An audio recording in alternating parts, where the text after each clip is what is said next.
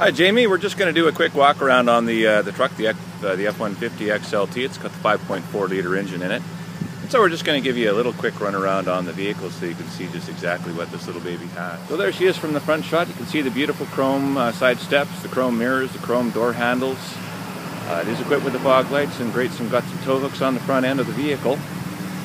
That'll be helpful for you in situations where you might need to help somebody out or uh, yourself get out of the ditch.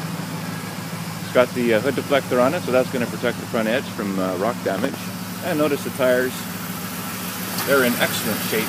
Lots of rubber left on those little babies right there. The windshield is absolutely perfect. There's no blemishes or marks. And door visors. Those will help prevent the rain from getting in when you've got the window down. Those beautiful side steps there on that vehicle.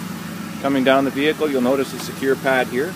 That's going to keep you from uh, locking your keys in the vehicle case you want to uh, leave your vehicle uh, keys in the vehicle, you simply lock them in and retrieve it later on. Tinted windows all the way around. Down the back side of the vehicle, you can see we've got an excellent tonneau cover on top of that baby right there. And uh, gorgeous chrome wheels. Chrome tipped exhaust pipe as well. Around the back for pulling that RV trailer, we've got the uh, class 3, uh, class 5 hitch there.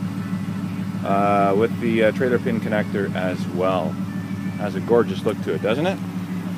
Coming around this side of the vehicle, you can see there's no exterior damage to this vehicle. It looks absolutely fantastic, my friend.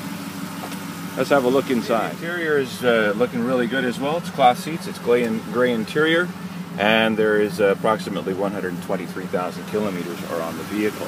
It's got all the power equipment and features that you'd want to have. Cruise control, power windows, power mirrors, power locks, and here's the back seat compartment as well. Vehicle, frankly, is in excellent condition.